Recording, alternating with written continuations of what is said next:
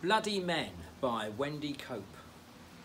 Bloody men are like bloody buses. You wait for about a year. As soon as one approaches your stop, two or three others appear.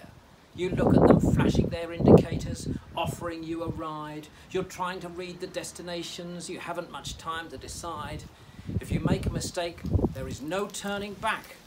Jump off and you'll stand there and gaze while the cars and the taxis and the lorries go by and the minutes, the hours, the days.